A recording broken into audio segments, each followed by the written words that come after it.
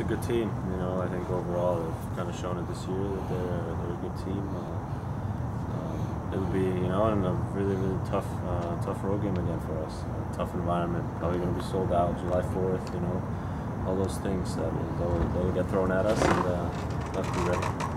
A lot of guys have talked about how uh, Mikey is a good guy in the locker room. Just curious, can you give any examples of what makes him a good guy in the locker room? He's a great guy. Like as you saw, I was walking in today, for example, he, uh, just because I wanted to leave my car at home, he picked me up and drove me up here. you know, Oh, okay. Things like that, you know. That's just a little example, but no, but Mikey's a great guy. He's, he's always for the team, uh, and, and it's, yeah, it's just just a good guy to be around and a good friend. And what's making him? I mean, he looks like he's growing in confidence on the field as well with every start. Is that accurate? Yeah, I think I think that's normal. I think for every player that, that plays more and that performs like he does, you know, I think he'll, he'll get more confident and more sure in his, the things he does on the field, and and uh, yeah, I mean, I, like I said, I think it's normal, and uh, yeah, I had I had no doubt that he was going to come in and perform like he does. Two road games in I think the span of four days. How do you guys just prepare for that mentally and physically? Physically, it's a lot of rest, uh, and, and trying to obviously recover from the last game and just get ready for a midweek game, and then we'll kind of see Philadelphia from there. But mentally, it's you just have to be ready. You know, you have to you have to know what's coming. You have to know that you're going to be in a hotel for a whole week. You have to know that you're going to have a couple flights, and that it's going to be some tough environments because everybody wants to beat us, um, and that's just because we are where we are and we are who we are. Um, and yeah, so we just have to be ready. You mentioned playing Fourth of July. Have you ever played on holidays? Is that add a, the Fourth of July, Memorial Days, Independence Days, things like that? Whether here in Germany, does that add just extra atmosphere or intensity to these contests?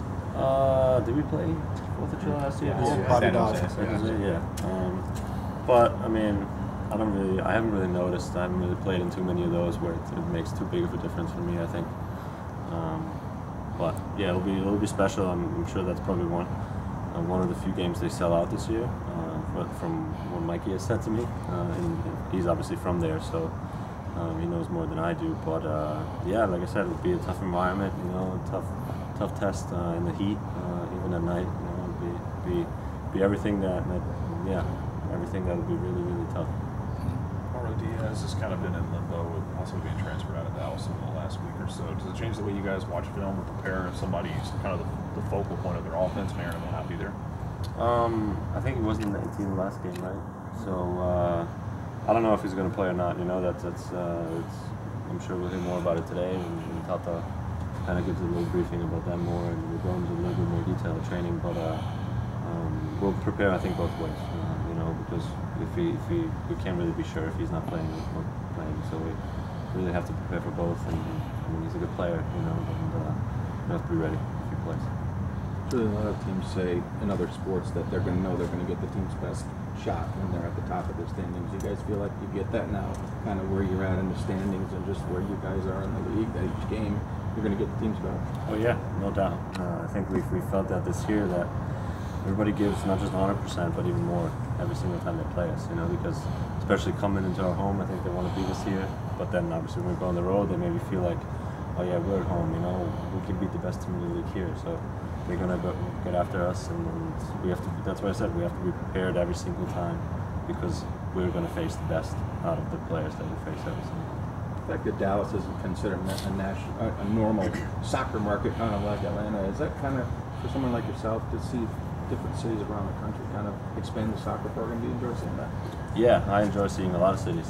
I like to travel, and I like to just uh, yeah even go out and uh, and uh, enjoy the cities and, and, and kind of see the the, part, the things apart from soccer as well.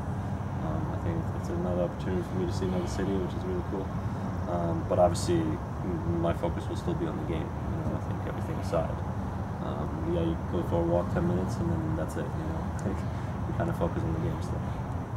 One of the talking points from yesterday's World Cup games was uh, diving, and Neymar specifically.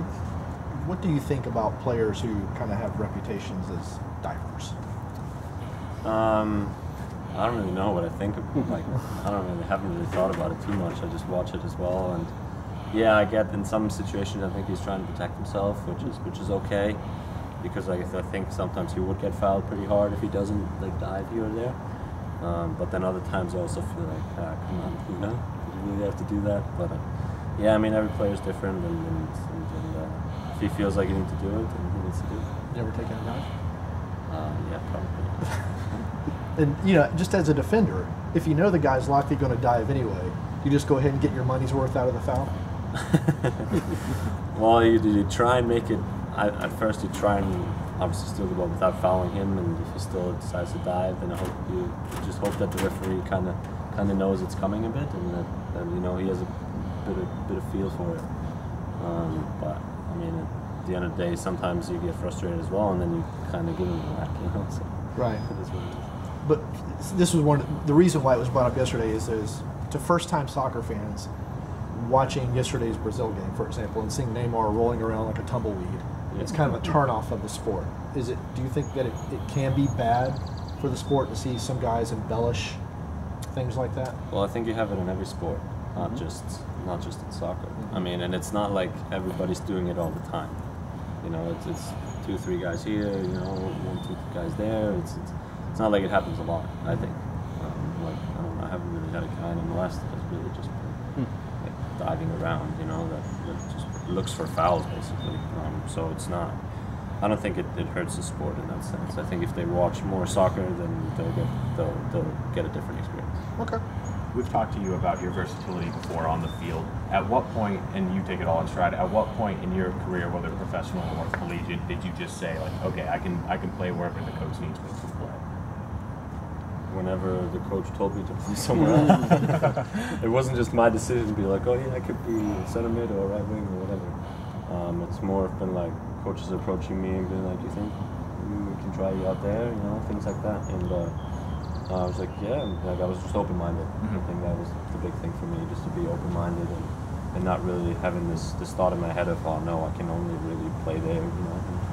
so that's just how it came along. Where was that happening most often?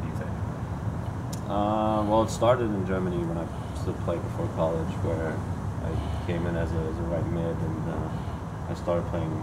Then my right back got hurt, so I started playing right back. Then my left back got hurt, so I started playing left back. So, you know, all those kind of kind of things where just just things happen during a season where guys get hurt, and, and coaches kind of have different ideas, and, and that just uh, kind of came along then. And then I got recruited to college where I played right mid. They recruited me as a right midfielder to start, told me that.